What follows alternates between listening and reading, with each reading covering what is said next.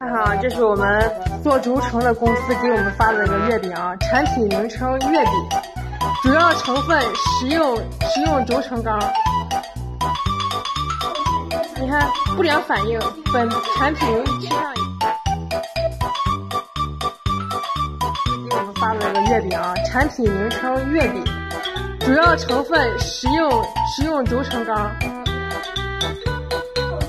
你看不良反应，本产品容易吃上瘾。